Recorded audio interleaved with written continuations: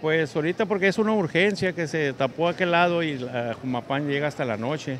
Y las personas de esta que, los locatarios de aquí, me dijeron que si podía hacer algo. Le digo, pues ahorita lo que podemos es, algo provisional, leve, porque despide muchos olores esto.